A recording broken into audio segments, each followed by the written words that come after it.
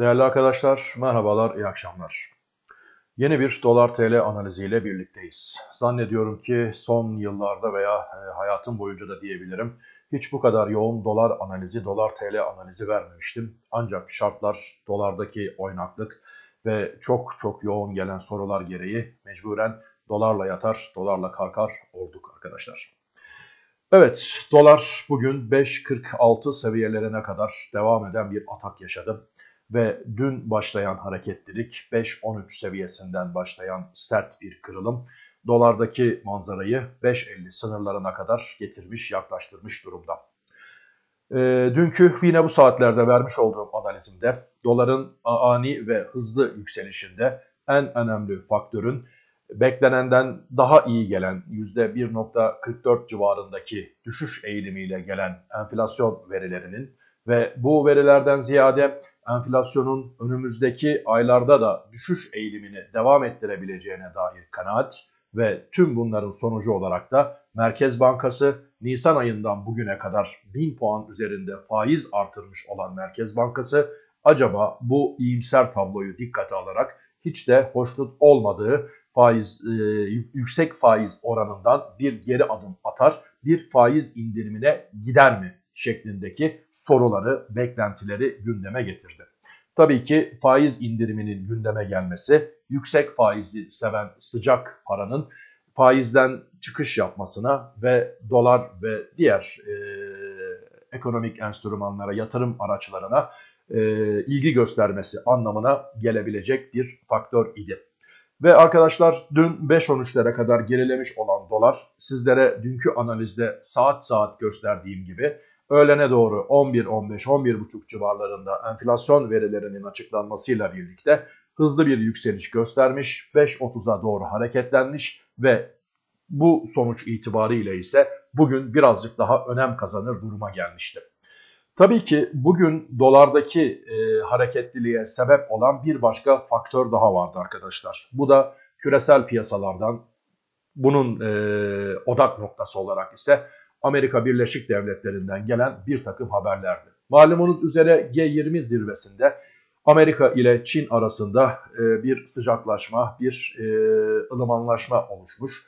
90 e, günlük bir ateşkes anlaşması imzalanmıştı ve bu anlaşmaya göre 90 gün boyunca ek vergiler konulmayacaktı. Fakat bu tablonun yaratmış olduğu iyimserlik tüm dünya genelindeki endekslere de çok olumlu yansımış olsa da Dün Amerika Birleşik Devletleri endeksleri yaklaşık %3'lere varan yükselişlerle tekrar Dow Jones bazında konuşuyorum. 26 binlere yaklaşmış olsa da bugün Amerika Birleşik Devletleri Hazine Bakanı ve Trump'ın baş ekonomisti, baş ekonomi danışmanı Larry Kudlow'un yapmış olduğu bazı açıklamalar ve böylesine uzman bir kişinin e, ağzından çıkan bazı kelimeler ve daha doğrusu çıkmayan bazı kelimeler diyeceğim. Çünkü kendisine bu G20 zirvesinde Çin ile aralarındaki ıı, sıcak diyaloglara bağlı olarak sorulan sorulara kaçamak yanıtlar vermesi, çok önemli olan hususlar üzerinde durmaması ciddi anlamda kafa karışıklığı yarattı. Neydi bu konu?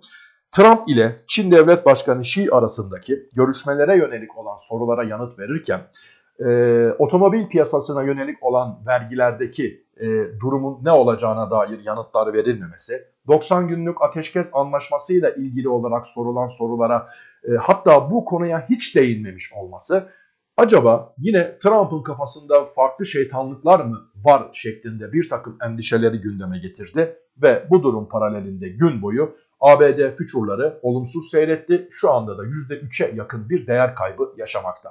Bu durum paralelinde, bu durum paralelinde genel anlamda piyasada bir sıkıntı oluştu ve bir ara 1.14-19 seviyelerine kadar değer kazanmış olan, pardon değer yitirmiş olan dolar dünya piyasalarında ardından e, şu anda görmüş olduğunuz gibi euro dolar paritesi 1.13-30 seviyelerinde ve tekrardan değer kazanmaya başladı. Bunun paralelinde dünkü enflasyon verilerinin yaratmış olduğu tablo ve bugün de dünya piyasalarının etki etmiş olduğu faktörler gereğince dolar TL'nin yükseliş eğilimini devam ettirdiğini ve tepkisini 5.46 seviyesine kadar ulaştırdığını şu an için canlı fiyatlar itibariyle de görmekte olduğunuz gibi 5.42'ler civarında olduğunu görmekteyiz.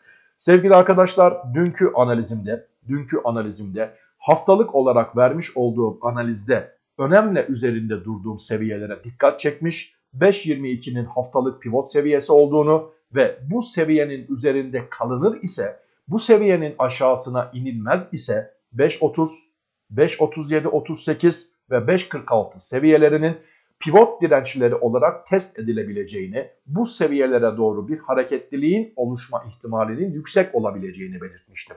Yine dün akşam yaşanan enflasyon verilerine bağlı olarak e, hareketlenen dolar TL kurundaki gelişmelere bağlı olarak verdiğim analizde ise günlük grafiği esas almak kaydıyla dünkü günlük grafiğimiz şu şekildeydi arkadaşlar.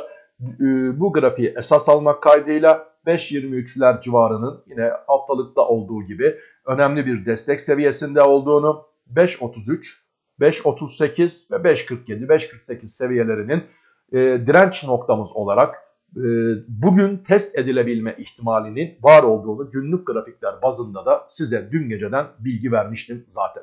Şimdi arkadaşlar tekrardan ben haftalık grafiğime döneceğim ve bu haftalık grafiğimde teknik durum itibariyle vardığımız e, noktayı sizlere izah etmeye çalışacağım.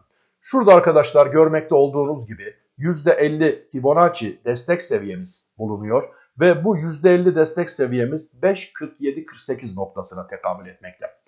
Arkadaşlar bu seviyenin aşağısına inilmekle 5.06'ya kadar devam edebilecek. Şurada 5.06 seviyesini görmektesiniz.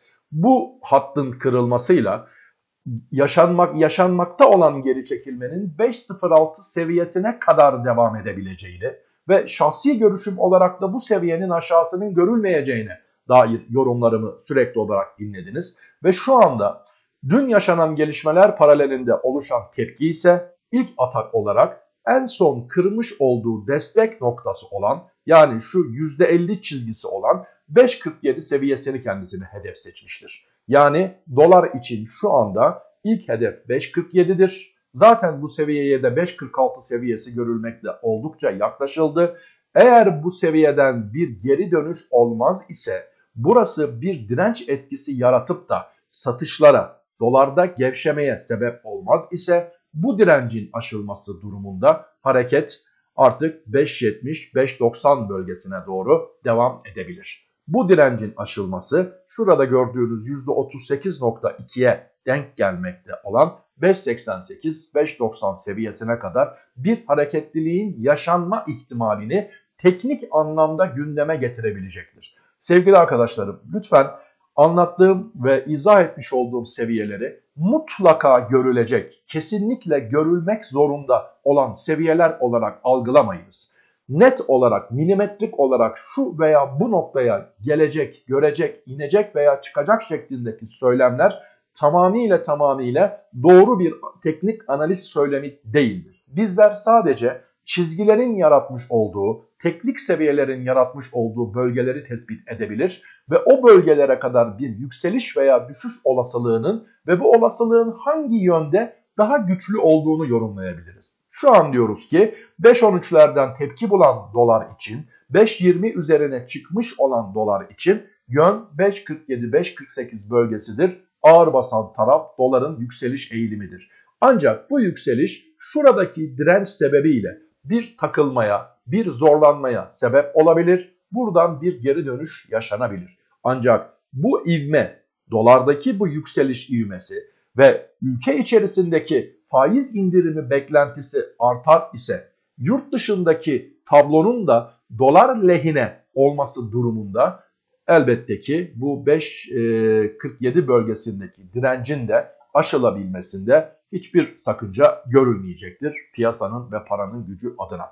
Sevgili arkadaşlar, dolarla ilgili olarak yapmış olduğum analizlerimde önce haftalık tabloyu sizlere veriyordum. Arkasından da yarın ne olabilir noktasına yönelik olarak günlük e, grafiğe geçerek günlük tabloyu izah ediyor ve sonrasında da çok ciddiyetle takip ettiğiniz üzere sizler de Merkez Bankası ne yapıyor? Çünkü doların geri çekilmesinde Merkez Bankası'nın açmış olduğu short işlemler, e, satış işlemleri, biop piyasasındaki satış işlemleri doların gerilemesinde etkili olan faktörlerden birisi olarak yorumlamıştık. Zira Kasım ayında 224 bin kontrat, efendim Aralık ayında 572 bin kontrat, Şubat 2009'da ise 40 bin 41 bin kontrat civarındaki short pozisyonlar Merkez Bankası'nın dolar üzerindeki baskısını ve e, yükselişini engellemek adına e, tavrını ortaya kayan sebeplerden bir tanesi idi. Kasım ayı kontratları biliyorsunuz otomatik olarak 5.16-17 seviyesinden oldukça düşük bir seviyeden ve çok da avantajlı sayılabilecek bir seviyeden Merkez Bankası açısından kapanmış durumda. Evet arkadaşlar Merkez Bankası konusuna birazdan gireceğim ama ben yarın için dolarda neler olabileceğini, takip edilmesi gereken kritik seviyelerin neler olduğunu izah etmeye çalışayım. Şu anda piyasa kapanmadı. Ee, henüz e, aktif olarak işlemler geçmekte. Biliyorsunuz dünya piyasaları 24 saat aktif durumda. Şu anki rakamlara bakarak yani doların 5.41 48 5.42 seviyelerinde durumunu dikkate alarak 5.38 seviyesinin yarın için veya hatta şu an içinde bulunduğumuz andan itibaren önemli bir destek konumunda olduğunu, 5.38 seviyesinin aşağısına gelinmemesi durumunda, bu seviyenin bir destek olması durumunda birinci nokta 5.47.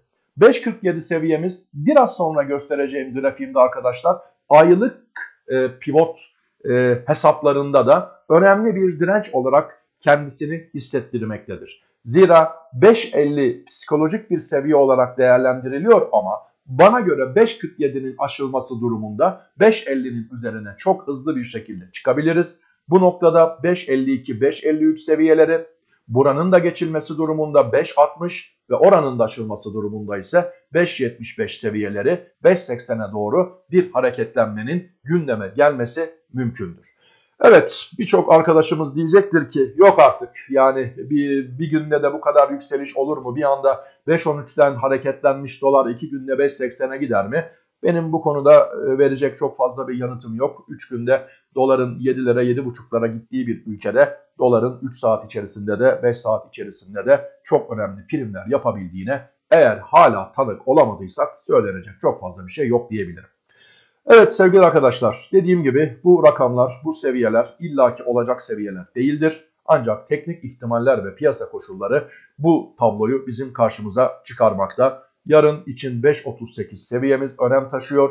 5.47 önemli bir direnç konumunda. 5.47'nin önemli bir direnç olmasını ortaya çıkaran etkenlerden bir tanesi de arkadaşlar Aralık ayına ilişkin olarak aylık dolar TL pivot sistemimiz 5.47 seviyesini birinci direnç olarak hesaplamış. 5.30 seviyesinin önemli bir destek olduğunu, bu seviye üzerinde kalındıkça 5.47, 5.47'nin aşılması durumunda ise 5.82'lere kadar Aralık ayı itibariyle tekrar ediyorum Aralık ayı itibariyle çünkü şu an aylık grafik üzerindeyiz 5.82'ye kadar bir yükseliş ihtimalinin pivot sistem tarafından hesaplanmakta olduğunu burası da aşılırsa 5.98-6 seviyelerinin radara girebileceğini söylemek mümkün olabilecektir. Evet arkadaşlar şimdi bu teknik seviyeleri izah ettikten sonra ben gece 12'den sonra e, dolar TL'nin e, yurt dışı kapanışı ardından yarın için geçerli olacak olan pivot seviyelerini Haluk, et Haluk Canberk e, tweet adresimden mutlak surette paylaşacağım arkadaşlar. Ee, şimdi arkadaşlar bir de Merkez Bankası ne yapıyor ne ediyor konusuna gelelim. Evet Merkez Bankası dün itibariyle Aralık kontratlarında hiçbir işlem yapmamıştı. Uzun süredir Kasım kontratlarında da ek pozisyon açmıyordu. O pozisyonlar kapandı ve gitti. Ancak e, Aralık ayının başladığı dün itibariyle Merkez Bankası ne e, Aralık e, kontratlarında ne de Şubat kontratlarında herhangi bir pozisyon açmamıştı. Bu arada düne kadar sorulan sorular içerisinde niçin Ocak ayına dair verileri yayınlamıyorsunuz şeklinde. Sevgili arkadaşlar Ocak ayının kontratları dün açılmıştır.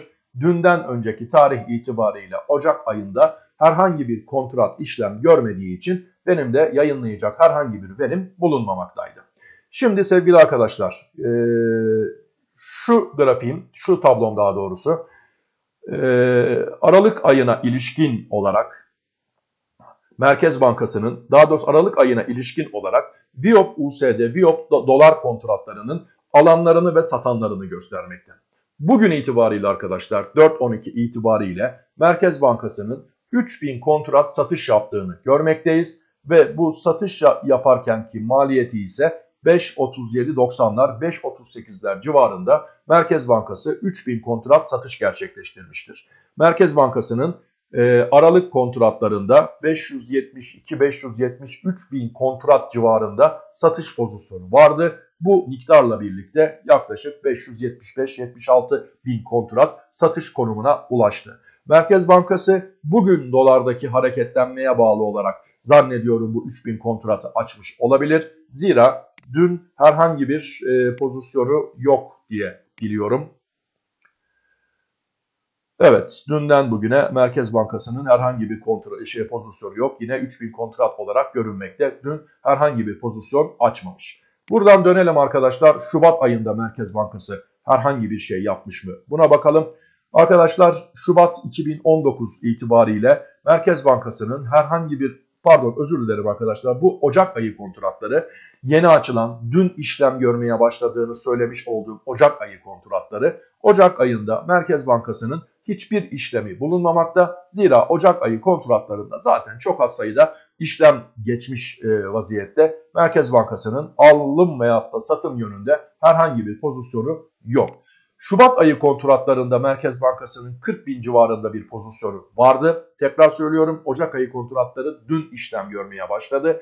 Dünden öncesi itibariyle Şubat ayı kontratları vardı. Şubat ayı kontratları yaklaşık 2 aydır aktif durumda. Şubat ayı kontratları itibariyle de Merkez Bankası'nın e, bugün itibariyle sadece 500 kontrat civarında bir işlem yaptığını görmekteyiz. Yaklaşık 10-15 gündür hiç işlem yapmayan Merkez Bankası bu dolardaki son birkaç gün, son iki günlük hareketlenme nedeniyle e, çok yüksek sayılmayacak miktarlarda, çok yani ufak rakamlar bunlar 3000 kontrat veya 500 kontrat gibi rakamlar bu seviyelerde işlem yaptığını görmekteyiz. Bu yapılan işlemler ve bu işlem miktarları birincisi çok e, piyasaya etki edecek veya piyasanın şeklini, seyrini değiştirebilecek boyutlarda değil. Bir anlamda Merkez Bankası varlığını hissettirmek ister gibi buralarda bir göründü gibi düşünüyorum. Veyahut da bu seviyelerden short pozisyon açmayı uygun görmüyor. Bu da bir ihtimaldir. Zira Merkez Bankası da doların önümüzdeki günlerde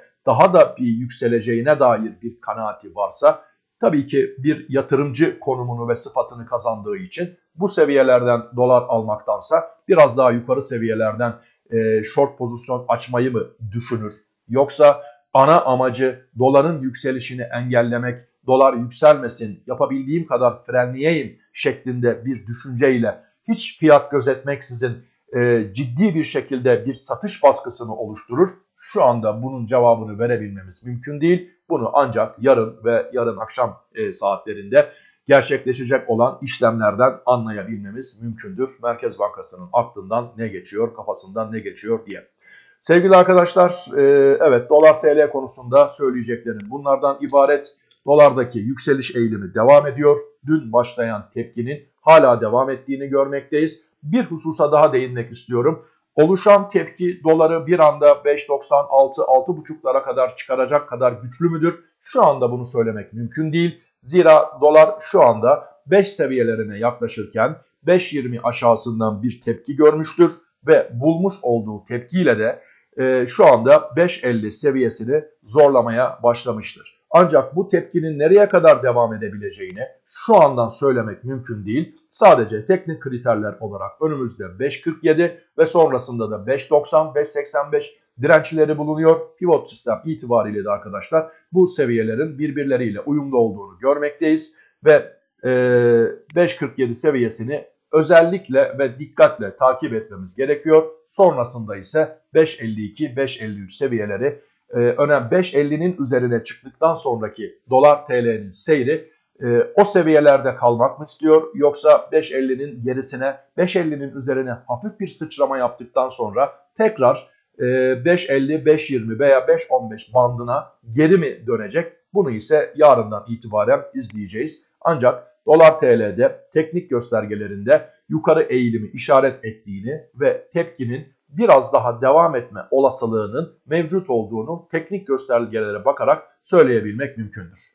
Arkadaşlar iyi akşamlar diliyorum. E, hoşça kalınız, başarılar, sağlıklar.